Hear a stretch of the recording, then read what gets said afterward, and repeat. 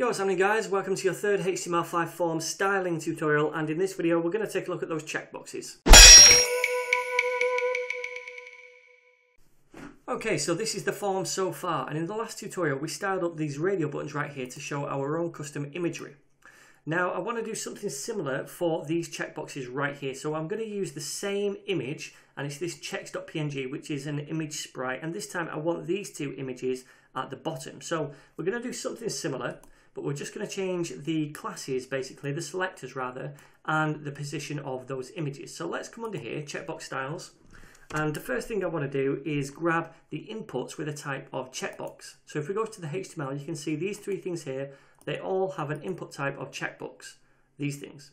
So again, we can't really style these as they are. So we're going to have to hide them again and show our own imagery instead. So let's go to the CSS and do that. First of all, we'll say input, then use an attribute to, uh, selector to say type equals checkbox. Cool.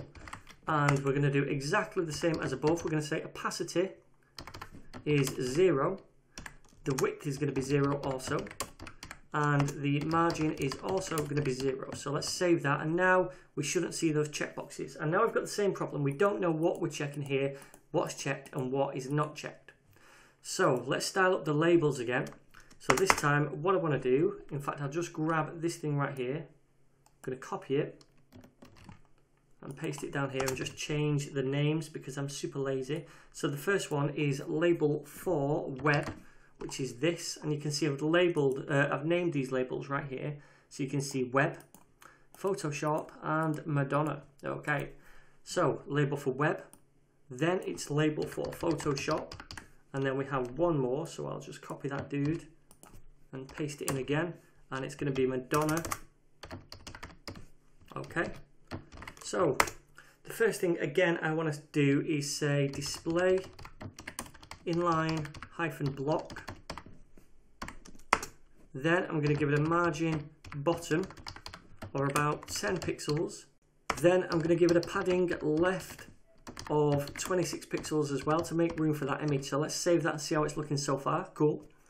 Okay, then I want to give it that background image. So I'll say background, and then it's URL, and it's the same image. So that's in the image folder, forward slash checks.png, and no repeat. So let's save that.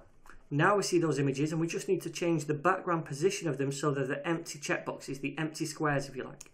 So to do that, I'm going to say background hyphen position, and this time it's going to be zero, and then minus 98 pixels for the y coordinate. That's going to scoot the image right up so we get the bottom of the image. So let's save that.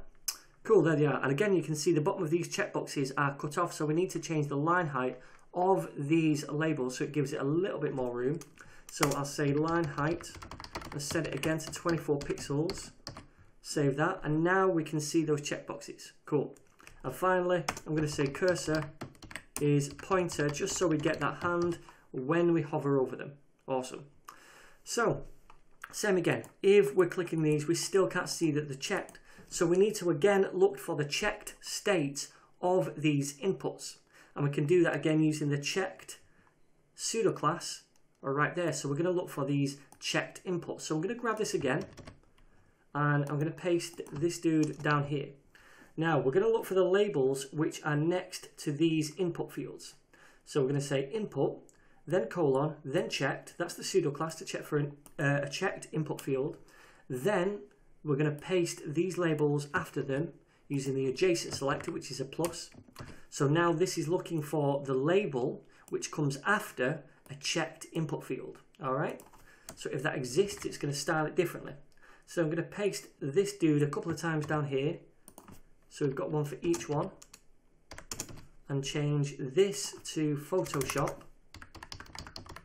And this one to Madonna. And then we're going to style those up again as well. So, what do we want to do? We want to change the background position of these things. And we'll change that from minus 98 to minus 65 pixels. So that's kind of coming down a little bit. And now we can see those checked things right here. Cool, right? And also we want to set the text to be red just like above as well when it is checked. So we'll say color, and then the color was, let's just grab it from up here because I can't remember it. Okay, there it is. And paste it in. Save that. And now we have that red color as well when a field is checked. Awesome. And this is working still as well. So there we go. That is how we style up checkboxes and those radio buttons. It's starting to look a lot better now, this form. Kind of matches the theme of the website, if you like. In the next tutorial, what we're going to do is carry on and style up this field set right here and the input boxes in there.